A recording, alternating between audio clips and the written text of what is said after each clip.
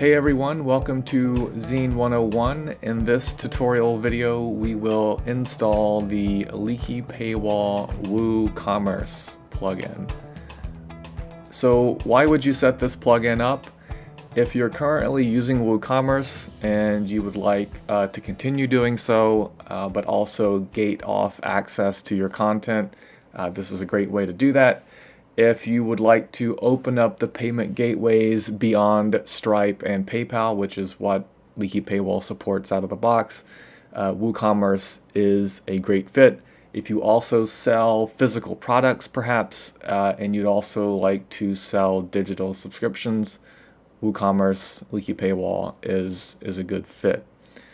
All right, a couple of things uh, also to note. The leaky paywall recurring payments. So this particular plugin is no longer needed if you decide to go with uh, the leaky paywall WooCommerce plugin.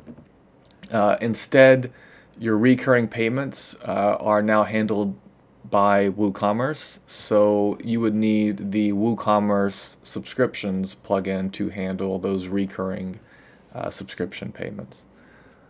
All right, so back to WordPress. I've gone ahead, I've installed uh, the Leaky Paywall WooCommerce plugin, and I've also gone ahead and created a product uh, inside uh, WooCommerce, okay?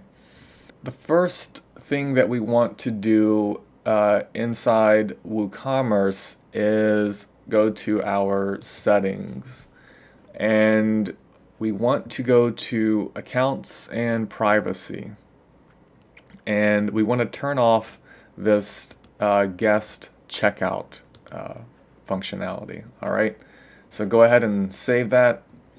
The other thing that we want to do since WooCommerce is handling the payment side of things is adjust our subscription card page. So uh, Leaky Paywall isn't going to be handling the registration part of it.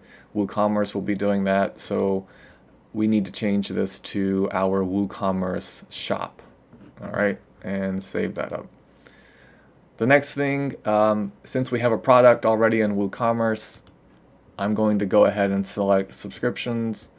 And I have a digital access plan here. Uh, I've got it set for one month. And what will happen here if someone purchases the digital subscription product through WooCommerce, if the payment is successful, they'll also have access uh, to the digital access plan uh, that we see here. And so an account is created inside Leaky Paywall and they'll have access uh, to whatever this plan uh, includes. All right, that does it for this tutorial. If you have any questions, feel free to reach out. Thanks for watching.